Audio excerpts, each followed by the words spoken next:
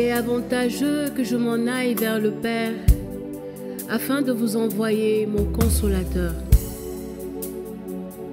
Dans Jean, le chapitre 16 au verset 7.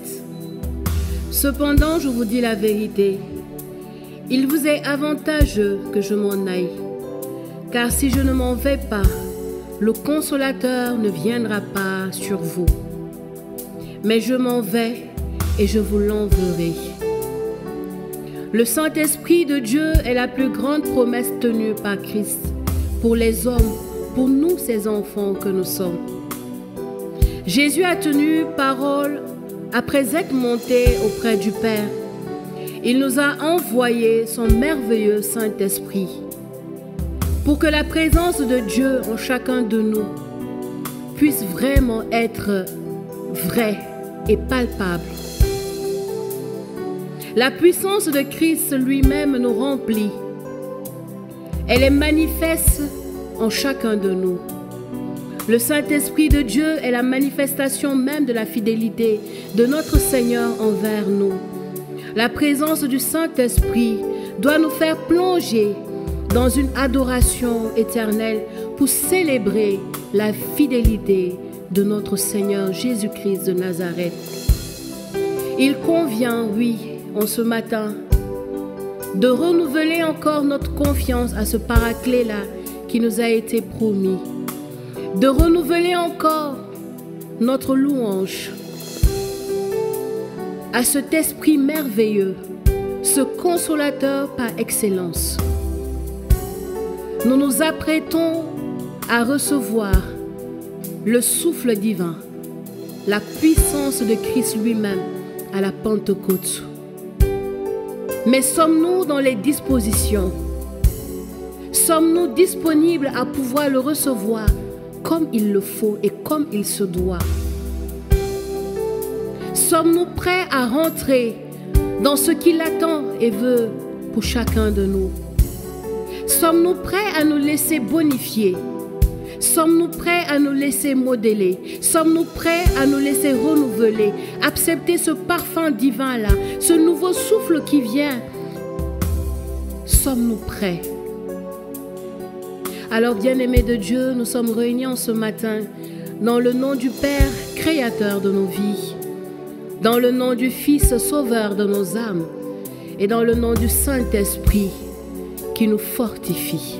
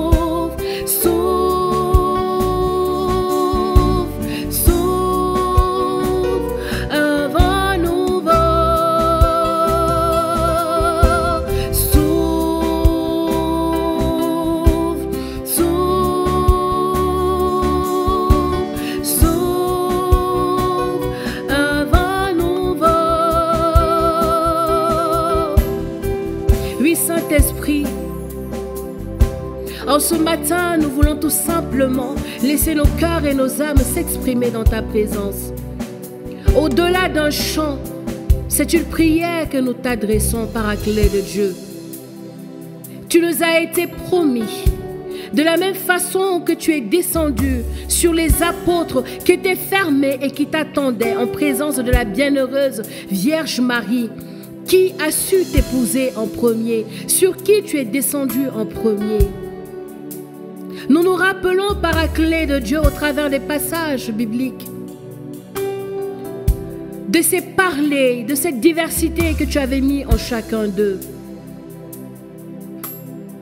À d'autres, tu leur avais donné un feu de prédication. À d'autres, tu leur avais donné un feu de service. À d'autres, tu leur avais donné un feu d'abandon total. Saint-Esprit, en ce matin, nous voulons tout simplement te dire à leur image, alors que nous t'attendons impatiemment, descends favorablement sur chacun de nous. Donne un nouveau souffle à nos vies. Donne un nouveau souffle dans nos familles, un nouveau souffle par la puissance de ton divin feu au sein de nos foyers, un nouveau souffle pour nos différentes nations, Saint-Esprit. Nous avons l'habitude de te dire paraclet, nous ne voulons pas te, te limiter dans ce que tu es dans nos vies et ce que tu peux faire dans nos vies. Nous avons besoin de toi, Saint-Esprit. Alors donne un nouveau souffle encore. Donne un nouveau souffle encore à nos pensées. Donne un nouveau souffle encore à ton Église. Donne un nouveau souffle encore à tes oins, à tes choisis, à tes appelés. Donne un nouveau souffle encore à tous ces rachetés.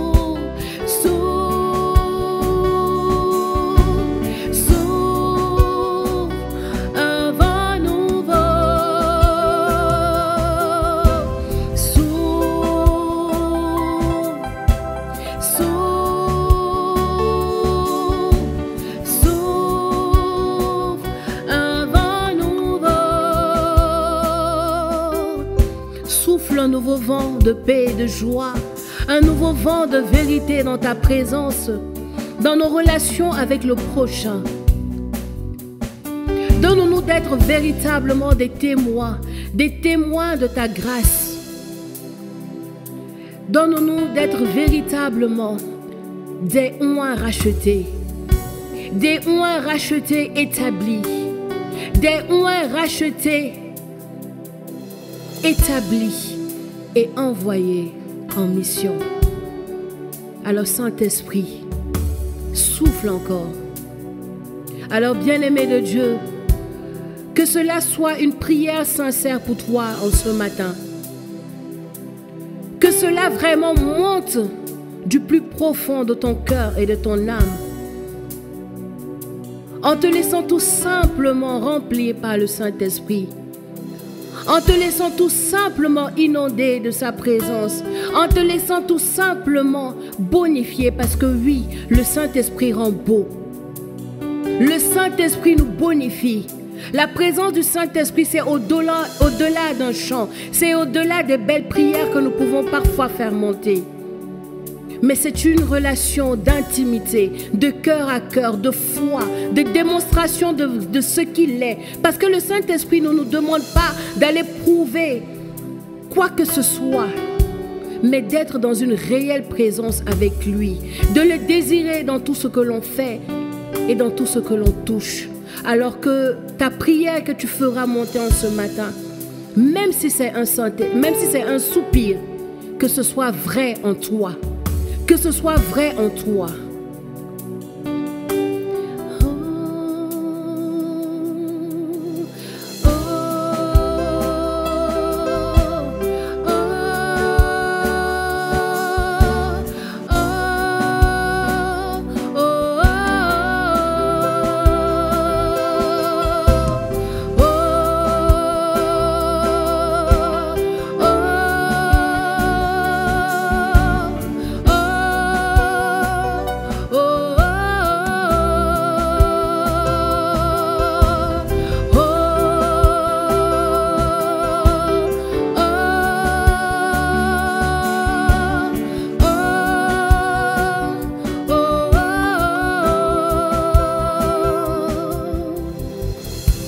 Soupir qui monte en ce matin.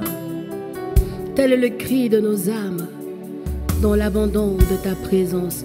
Alors, paraclet de Dieu, comme tu sais si bien le faire, viens encore faire du bien. Viens parce que nous t'attendons. Viens parce que nous t'invitons dans tous les aspects et domaines de nos vies. Viens parce que nous avons véritablement besoin de toi. Viens parce que nous avons soif de ta présence. Alors, bien-aimé de Dieu, c'est dans ce élan, dans cette atmosphère d'attente du paraclet, ce feu qui nous a été promis par le Sauveur de nos âmes. C'est dans cette atmosphère que je te souhaite véritablement de passer une agréable et sainte journée dans la présence du Saint-Esprit, qu'il t'embrase de son divin feu, qu'il consume encore ce qui n'est pas de lui.